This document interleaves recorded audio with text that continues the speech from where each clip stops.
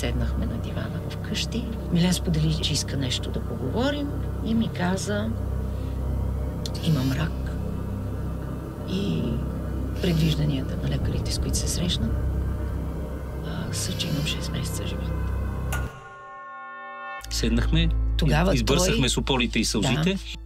и тя вика, казвай какво да правим. Аз, здрава, нездрава и така нататък, срак, без срак, аз съм домилен. Ние правим. Ние влизаме в терапията Герсон. Ние пием по 13 сока. Ние започваме да правим лечебни прави. Ние. Не те ли плаши, че имаш 6 месеца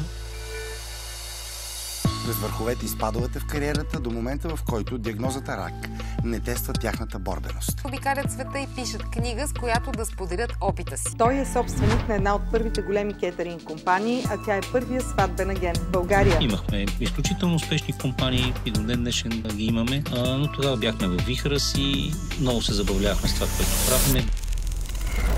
Почнах да чета, почнах да гледам видеа мотивационни за Iron Man. Първото ми записване беше в Хисария. Записах се веднага на следващото в Пловдив. Имаше в канала, плувахме на гребната база. Там вече се представих доста по-добре и се запознах с първите триатлонисти в България. Нямам и секунда колебание, че рака е мисия, която идва да ни събуди. Повечето хора са готови да отделят а, хиляди часове, за да придобият професия, но не са готови да прочитат и два реда за здравето си. Незнанието е убило повече хора, отколкото всички войни в света. Като повечето хора съм подхождал изключително съзнателно и протективно, като вида някъде рак и затварям. И не, това не ме интересува, това няма ми се случи. За съжаление, статистиката е а, страховита. От 2300 всеки четвърти в света ще мине през заболяването. Не. Това е страшно. Стягай се втори път идва рак.